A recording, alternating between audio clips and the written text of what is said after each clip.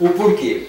Porque a gente, Dini, como que a gente fala, é, Laranjal, Laranjal é uma cidade, vamos dizer, em termos, para a gente que vem de uma cidade grande, é uma cidade pequena. Então o que, que, é, o que, que vai favorecer a associação de bairro? Se cada bairro estiver uma associação, então nós, membros da associação, vai estar defendendo as crianças do nosso bairro. Então como que a gente organiza isso, Dini? Então antes de a gente sair, a gente sai em casa em casa das crianças e dá uma senha para todos os moradores do bairro. Então, cada casa tem uma criança, a gente deixa uma senha. Então, todas as casas da Vila Tote que tem senha, a gente passa. As pessoas que vierem participar na festa, que não forem moradores da Vila Tote, se sobrar brinquedos, é, a gente depois repassa. Mas a nossa prioridade maior é as crianças do nosso bairro. Não sendo egoísta, mas como vocês têm a associação de bairro na Vila Tote, primeiro vocês recorrem a pessoas do, do bairro. É bem interessante, uma forma bem legal de, de se organizar isso daí. É...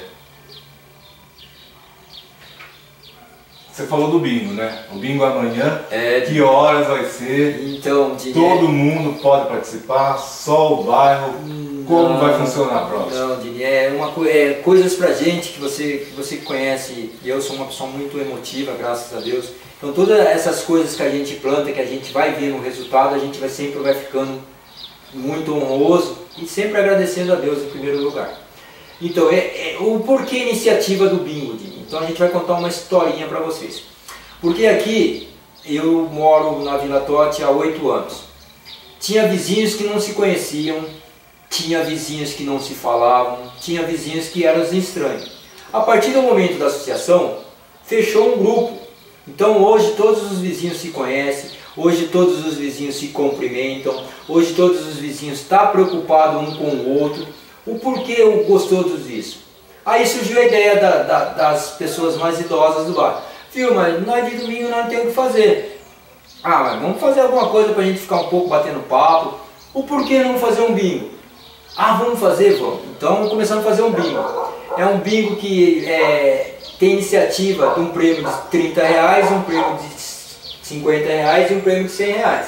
São três cartelas que são vendidas ao custo de 5 reais e a pessoa concorre a esses três prêmios. E através disso também a gente faz umas rodadas extra com a gente tem representante da Natura aqui que é a Lala, outras pessoas que trazem alguma coisa, então a gente vai soma o custo do preço, paga e o que sobrar vem em caixa para a associação.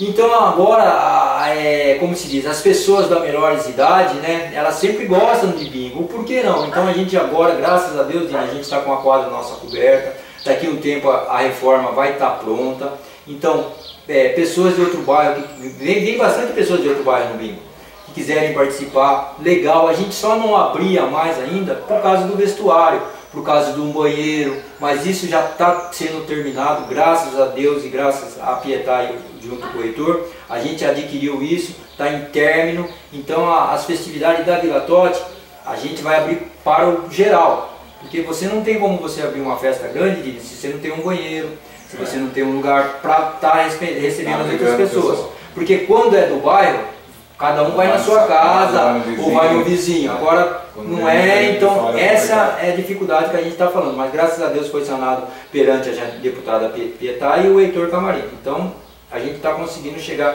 aonde a gente vai querer. Mas a que horas que é amanhã o bingo? Amanhã o bingo é a partir das 15h30. É, e uh, se preocupando também um pouco a Amivip com a, com a melhor idade, com a terceira idade, se fazer um bingo. Você só faz um bingo com frequência, o Clóvis, ou é como que é? Não, o bingo é feito, é feito, a gente estava num, num, plano aí de dois em dois meses, né? A gente estava fazendo um bingo, então a gente escolhe o melhor domingo do mês, em dois em dois meses a gente já faz aquele bingo, então as pessoas já ficam preparando. Só que agora, como que a gente vai ter a festividade nossa no dia 16, né, então a gente vai dar um tempo e depois também a gente vai dar um tempo porque o carnaval já está aí. Então a Vila Tote já está de volta para o carnaval, né? E a gente vai dar um tempinho no bingo. É, o Amivite, o, é, a associação, tem projetos é, já trabalhando em projeto com crianças, terceira idade, o algo na quadra ou tem em mente assim que terminar a quadra com, é, está fazendo esses projetos? Projetos que eu digo, esportivos, cultural, é, que com a coberta dá para fazer muita coisa, né, Carol? Ed, é, a, a Amivit, desde o início nosso, da, da gente que somos membros da Amivit, foi de voltar às crianças. O porquê das crianças? Porque as crianças será o futuro nosso amanhã. E se a gente da comunidade não olhar para essas crianças, fica rua, né, complicado. Né, prevenção. Então, a gente tem uma iniciativa muito, muito forte de, com o samba, porque o samba é o foco da Vila Tote. Para quem conhece um pouco a Vila Tote, Vila Tote é um, é um bairro considerado o bairro dos negros. É, a maioria, né? são negros. a maioria são negros. Então a gente pegou já no, no foco nosso. Então, então na nossa bateria, para quem conhece, prioridade nossa são as crianças. Hoje nós temos a faixa de 40 a 50 crianças tocando junto com a gente.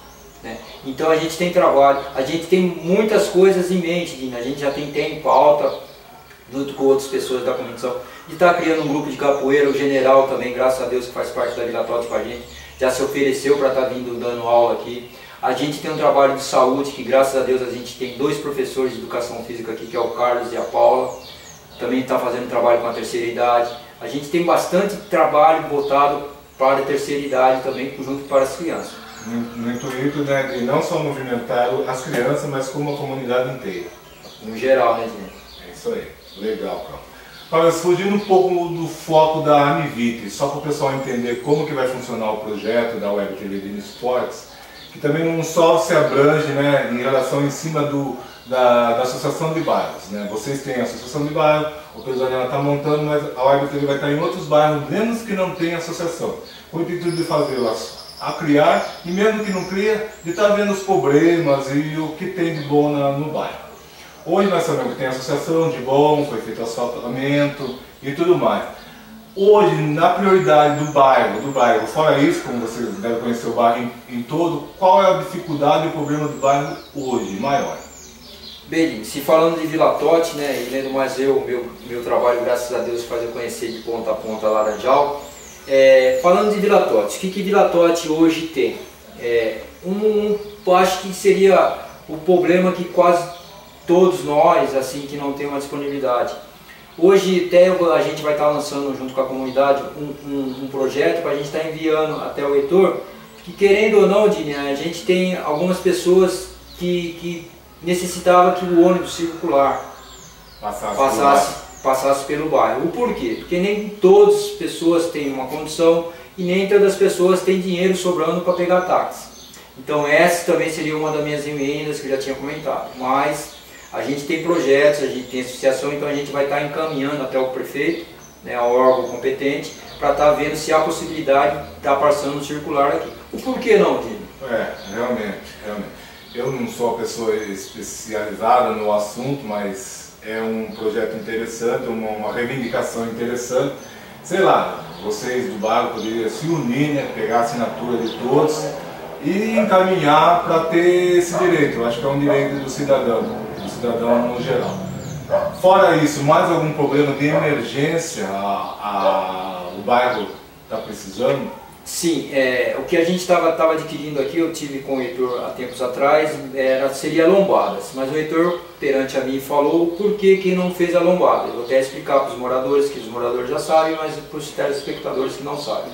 É porque a Vila Tote, graças a Deus, também foi concebida mais uma, uma emenda da deputada Janete Petá sobre o recapeamento das ruas principais aqui. Já está em licitação, então ele falou, por que, que eu fazer lombada agora se amanhã eu vou recapear? Então ele estava aguardando, foi uma reivindicação da associação, lombadas numa, umas, umas ruas principais que tem aqui, para a segurança das nossas crianças. Hoje, para o pessoal não no geral, mas que acompanha. Luiz Gartelli.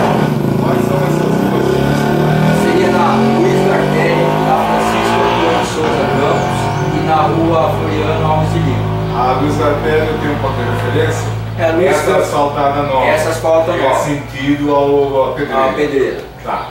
A Francisco Antônio de Souza Campos é essa, essa, daqui? essa avenida da quadra. A da quadra, É. certo. E a Floriana Alves de Lima é a paralela do mercado. A paralela do mercado, Isso. que é o acesso principal o acesso para o bairro. principal para o bairro. Acho que vocês devem ter escutado agora há pouco um barulho tremendo de um motociclista, motociclista que realmente passou com tudo aqui. E é nessa rua onde a gente está hoje, que é a rua é, Luiz Garpelli com Francisco com Francisco, sentido ao bairro a Pedreira, antiga Pedreira, né?